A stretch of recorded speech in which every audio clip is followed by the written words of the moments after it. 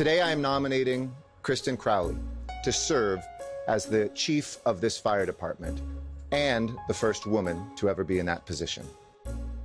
I mean, I understand, you know, the significance, the historical significance of what this means. A first is a first, right? And and so I understand that. But the amount of media and even the outpour of support.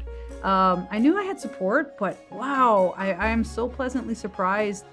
It was really neat. I got to do an interview just recently with a local station in Green Bay because of, you know, me becoming the fire chief, and it was really neat to connect. Like growing up where I grew up, going to an all girls high school, going to an all girls college, and then coming out here and then ending up, you know, in a male dominated type of career, right? Even like kind of coming up through the ranks within the organization, each and every step really prepared me. And I look back on it, it's like, I, did that for a reason and pushed hard for a reason. I had a lot of people behind me, you know, kind of assisting.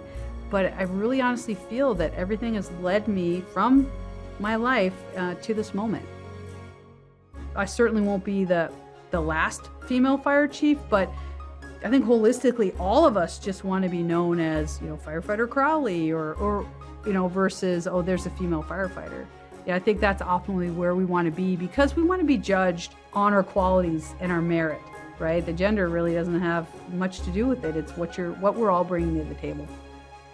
There's a lot of interest in it, which I think is really amazing, but I think it's also important to get that message out there, especially we're hiring, right? The window of opportunity to hire is here and now. I mean, candidates can file all the way up to June 15th, but after that, the window closes and then they have to wait another two years.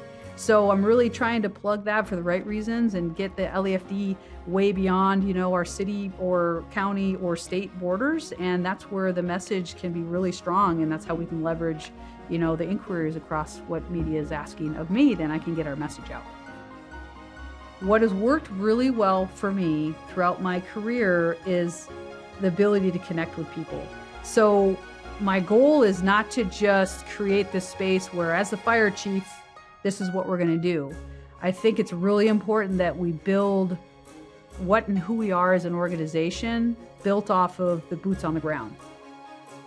It feels really good. It feels like we've had a really good transition. A lot of the times when a fire chief is going out, you don't have that luxury of really having a succession plan. It usually doesn't work that way. And I think, you know, people are asking me time and now, are you ready? Are you ready? And I say, you know, are we ready? I think we're ready. And they go, yeah, chief, we're ready.